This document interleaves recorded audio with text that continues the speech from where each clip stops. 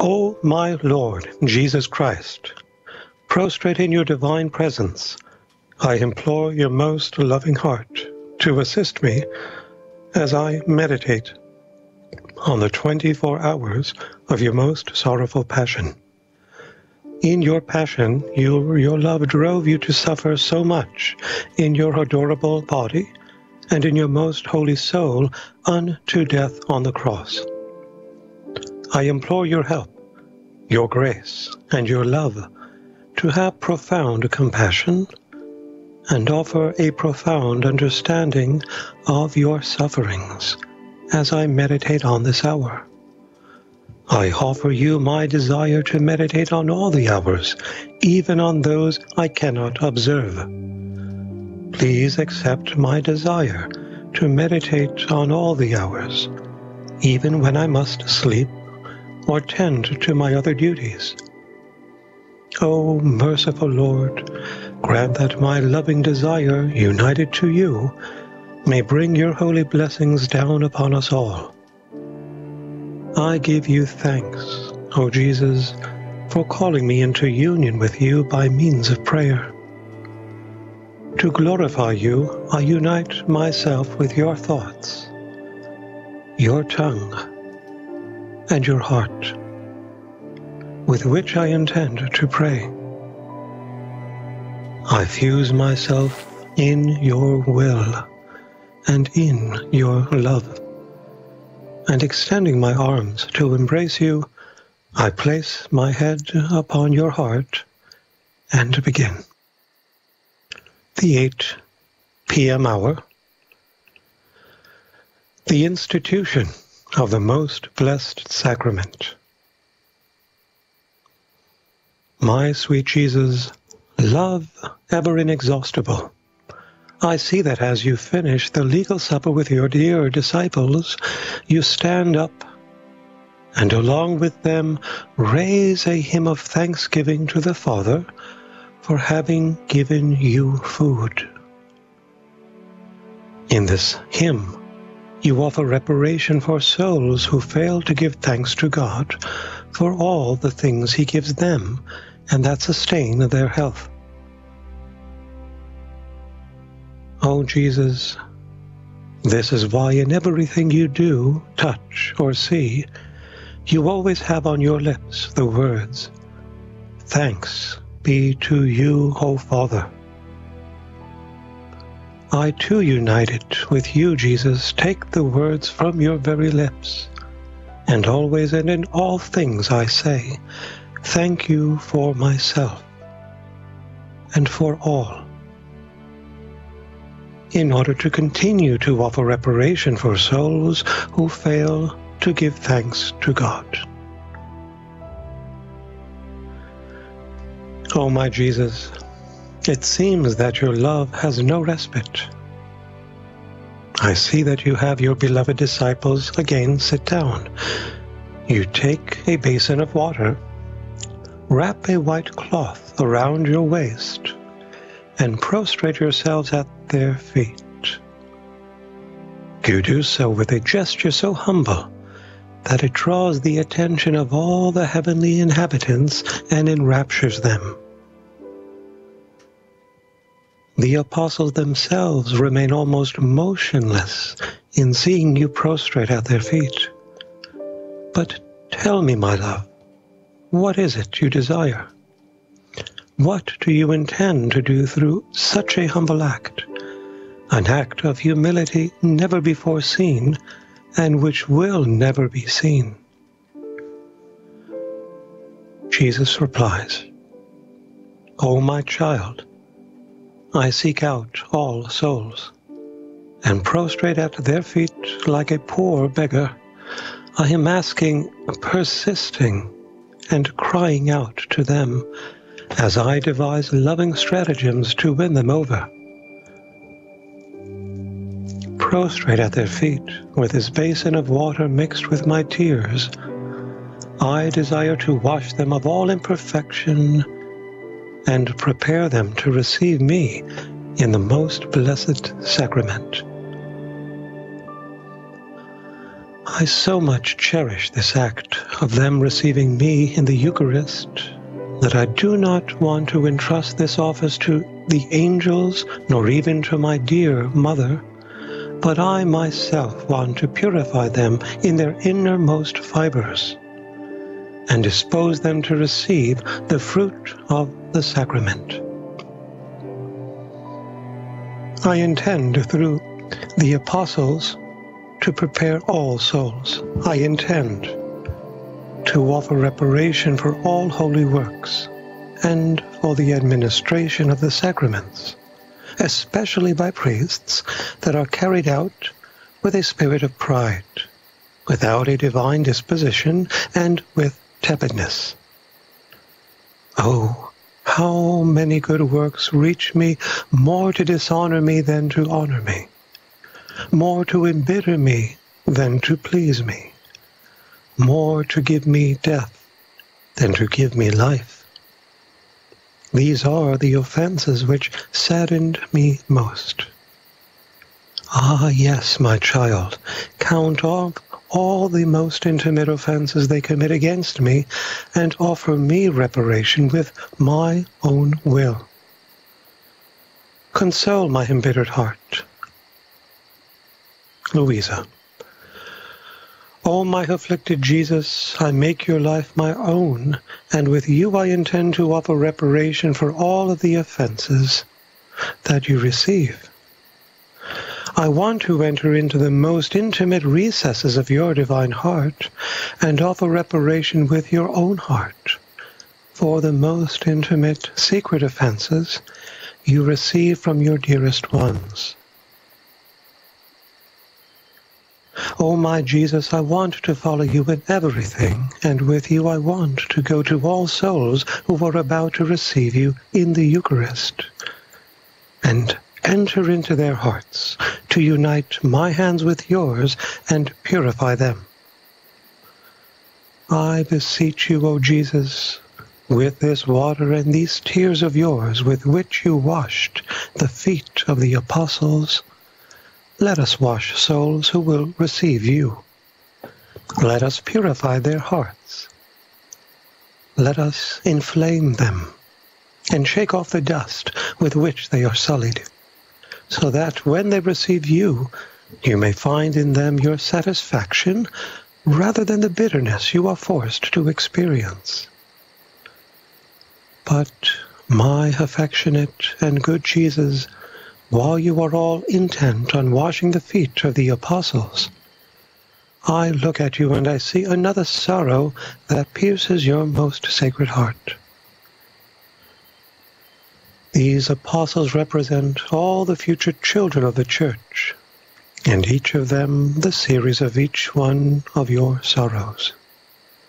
In some you discover weakness, in others deceit, hypocrisies, and excessive love for personal interests. In St. Peter you discover the lack of resolve and all the offenses of church leaders. In St. John, the offenses of your most faithful ones. In Judas, all of the apostates with the whole gamut of the great evils they commit. Oh, your sorrow is so stifled by pain and love that unable to contain it, you pause at the feet of each apostle and burst into tears, praying and offering reparation for each of these offenses, and imploring the appropriate remedy for all of them. Beloved Jesus, I to unite myself to you. I make your prayers, your reparations, and your appropriate remedies for each soul my own. I want to mix my tears with yours so that you may never be alone, but may always have me with you to share in your pains. But, sweet love of mine, as you continue to wash the feet of your apostles, I see that you are now at Judas's feet. I hear your labored breath. I see that you not only cry, but sob. And as you wash those feet, you kiss them and press them to your heart.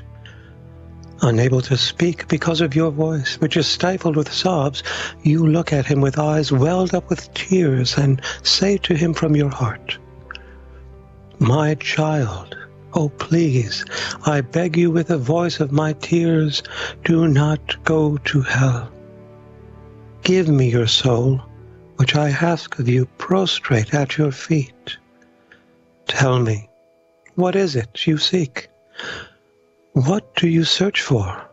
I will grant you everything you seek, but do not allow yourself to be lost. Oh, please, spare me, your God, this sorrow.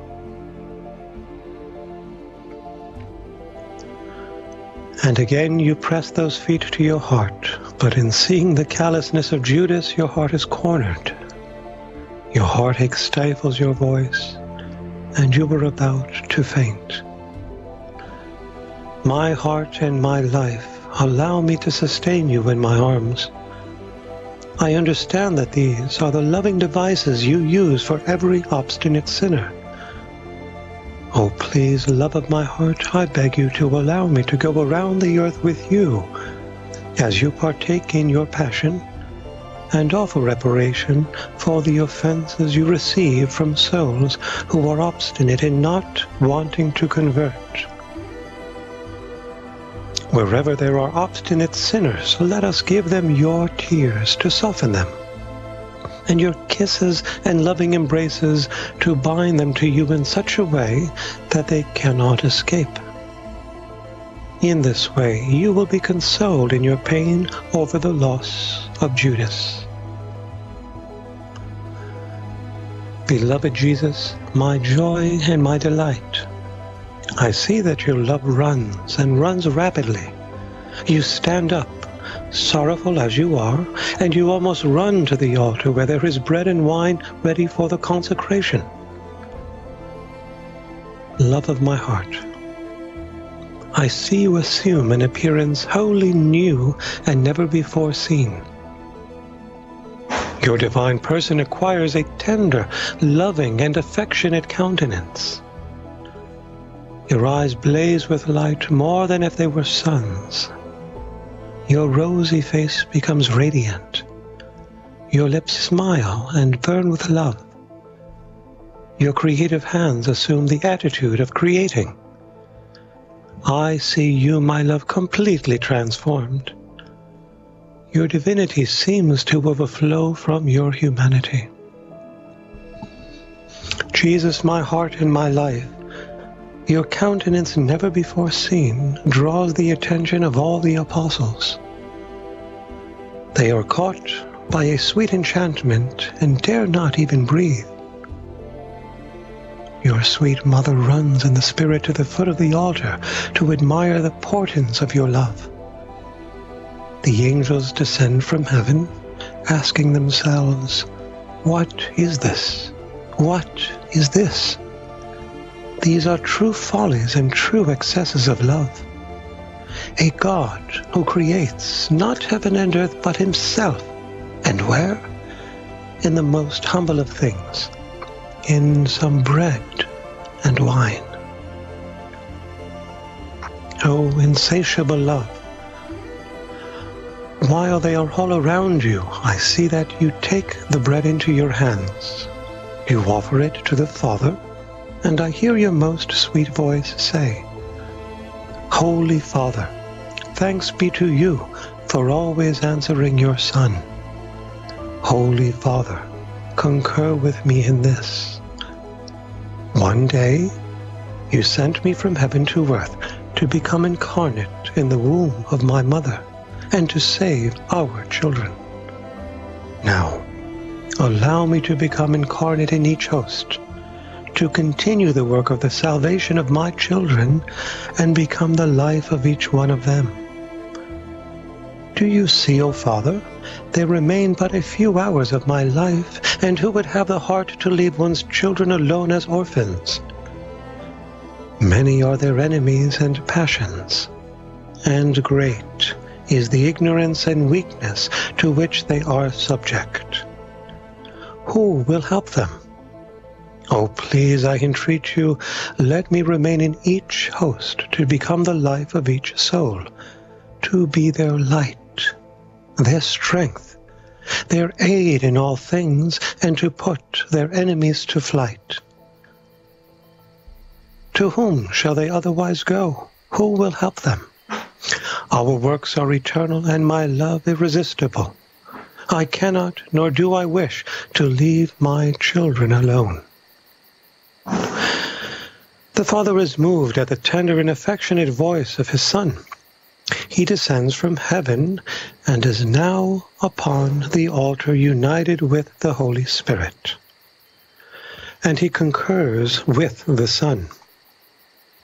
And Jesus, with a resounding and moving voice, pronounces the words of the consecration. And without leaving himself, he bilocates himself in the bread and wine. He then administers himself to his apostles. And I believe that our Heavenly Mother is not deprived of receiving him. O Jesus, the heavens bow down and all send you an act of adoration in your new state of complete self emptying.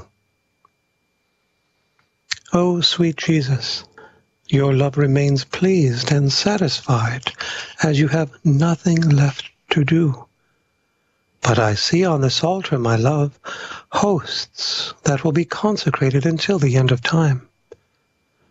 I behold lined up in each host your entire sorrowful passion, as souls at the expense of the excess of your love prepare you for you the excessive ingratitude and enormous crimes.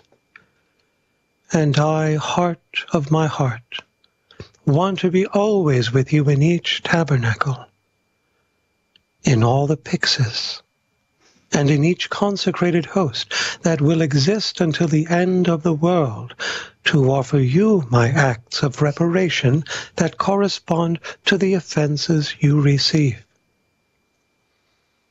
O oh, Jesus, as I contemplate you in the most blessed sacrament, I kiss your majestic forehead.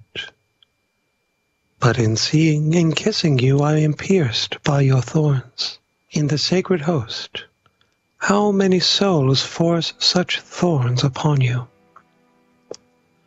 They come before you, and instead of offering you the homage of their good thoughts, offer you their evil thoughts. You in turn lower your head as you do in your passion, to receive and bear the thorns of these evil thoughts. O oh, my love, I draw close to you to share in your sorrows. I fuse all of my thoughts in your mind to remove these thorns that deeply sadden you. May each of my thoughts flow in each one of your thoughts to offer reparation for each evil thought and to alleviate your afflicted thoughts. Jesus, my love, I kiss your beautiful eyes. I see you lovingly gaze upon those who come into your presence, eager to receive an exchange of their gazes of love. But how many come before you who, instead of looking at you and searching for you, look at things to distract them? thereby depriving you of the pleasure you would have received from an exchange of loving gazes. You cry, and as I kiss you, I feel my lips wet with your tears. Beloved Jesus, do not cry. I fuse my eyes in yours to share in your sorrows and cry with you and to offer reparation for all distracted gazes, I offer you my gazes that are always fixed on you. Jesus, my love, I kiss your most sacred ears.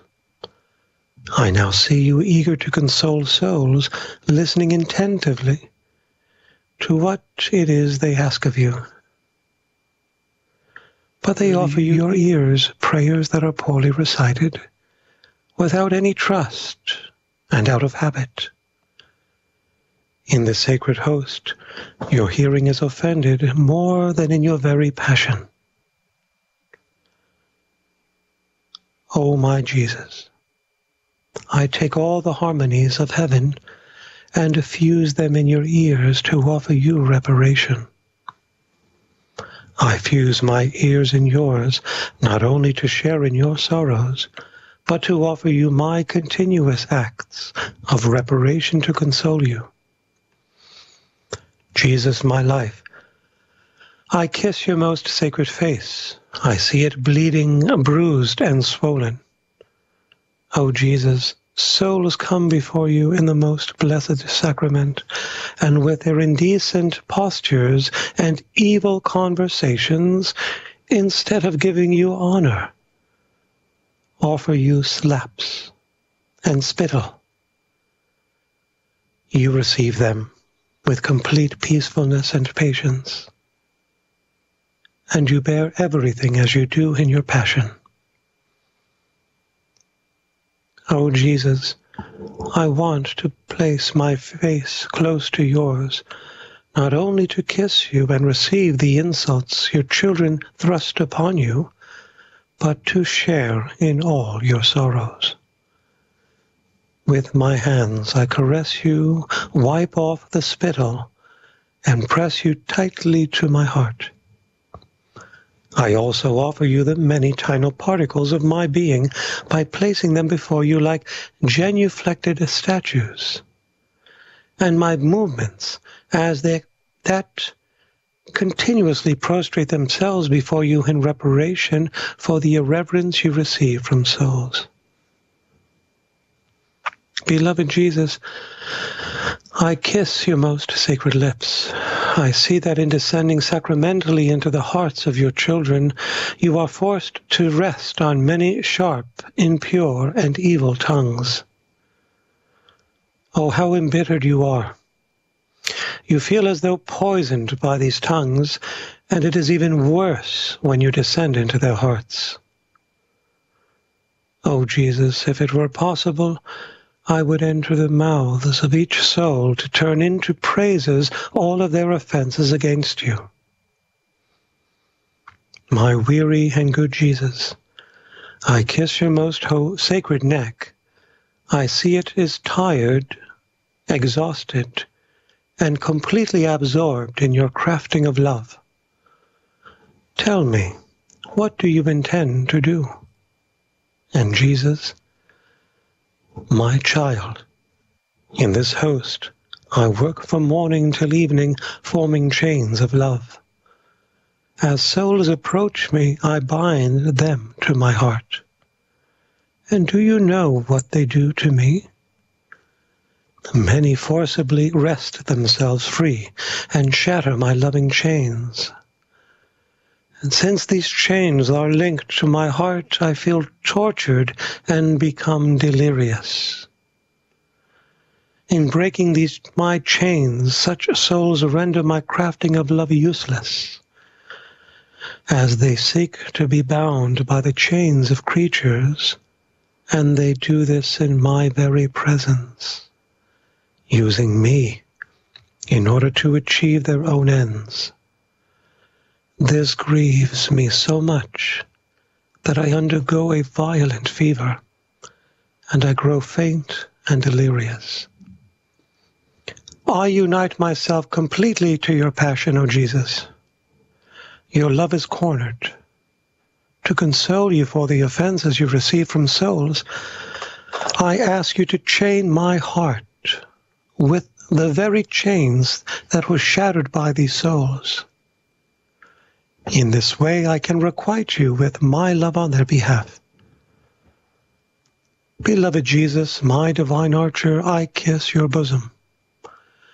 The fire you contain is so great that in order to gently vent your flames and seek the slightest respite from your labor, you begin to play, shooting loving arrows from your bosom at souls who approach you. Your game is to form loving arrows, darts, and javelins, and with these pierce their hearts, which causes you to rejoice. But many reject them, O Jesus, by sending you in return arrows of insipidness, darts of lukewarmness, javelins of ingratitude, thus leaving you so afflicted that you weep bitterly.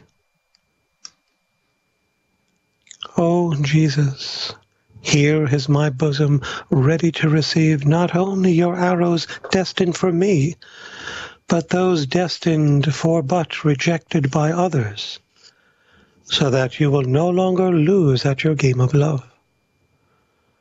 I offer you reparation also for the insipidness, lukewarmness, and ingratitude of souls. O Jesus, I kiss your left hand, and I wish to make reparation for all the illicit or blameworthy touches in your presence. And I beg you, to press me always tightly to your heart. O Jesus, I kiss your right hand, and I intend to make reparation for all the sacrileges, especially for the masses poorly said. How many times, my love, are you compelled to descend from heaven into unworthy hands and hearts? Although you are nauseated in those hands, love forces you to stay. What is more, in some of your ministers you discover those who renew your passion. On account of their enormous crimes and sacrileges, they renew the deicide. Jesus, I am frightened at the thought of it. But alas, just as you were in the hands of the Jews during your passion, so you remain in these unworthy hands like a meek lamb, awaiting again your death. Oh, Jesus, how much you suffer. Your love for a loving hand to free you from these sacrilegious hands.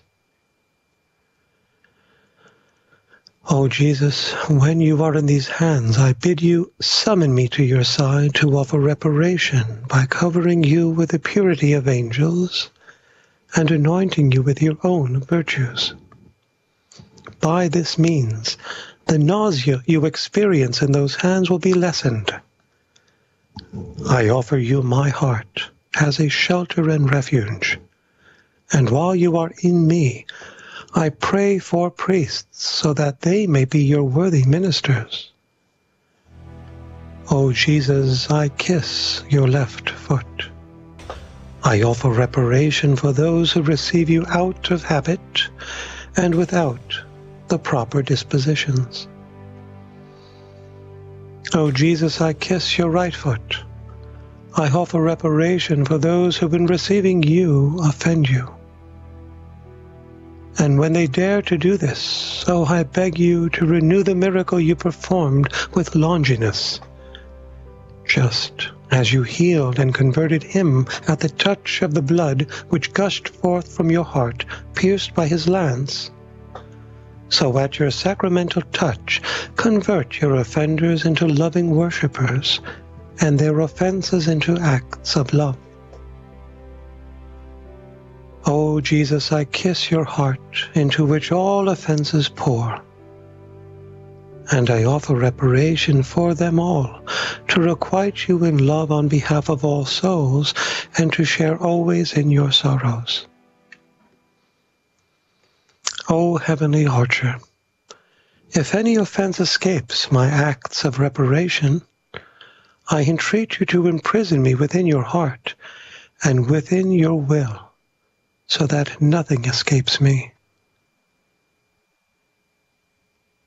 I implore my sweet mother to keep me always within her heart, so that I may offer reparation for all offenses on behalf of all souls. Together we shall kiss you and keeping you sheltered, drive from you the waves of bitterness souls offer you. Oh, Jesus, please remember that I too am a poor prisoner. It is true that your imprisonment in the small circumference of a host is more arduous than mine. But I nevertheless bid you enclose me in your heart, and with your chains of love do not just imprison me, but also bind one by one my thoughts, my affections, and my desires. Chain my hands and my feet to your heart, so that I may have no other hands and feet but yours. And so, my love, my prison will be your heart. My chains will be formed by your love. Your flames will be my food. Your breath will be my breath. And the bars preventing me from leaving will be your most holy will. In this way I will behold nothing but divine flames and experience nothing but the divine fire. While I experience life, I will also experience death, just like the death you experience in the sacred host. I will give you my life, and while I remain imprisoned in you, you will be set free in me. Was this not your intention when imprisoning yourself in the host? Did you not intend to be set free by those souls who would receive you and enable you to actualize your life in them?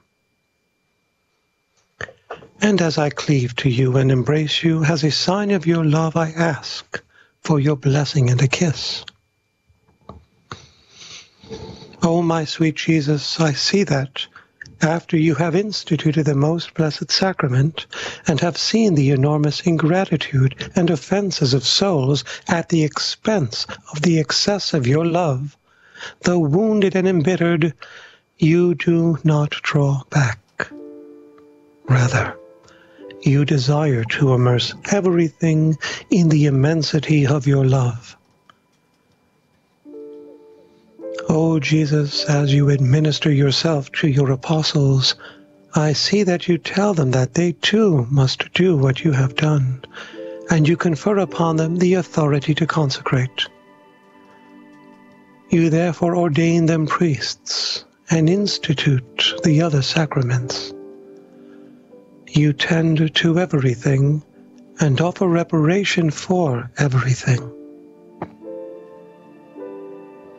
the sermons poorly preached, the sacraments administered and received without the proper dispositions, and therefore without their intended effects. The mistaken vocation of priests on account of the ordin- ordinand and of the bishops who ordain them, who do not use all the necessary means required to discern true vocations. Jesus, nothing escapes you, and I follow you and offer reparation for all these offenses. Then, after you have fulfilled everything for the institution of the sacraments, you take your apostles with you and set out for the Garden of Gethsemane to begin your sorrowful passion. I will follow you in everything to keep you faithful company.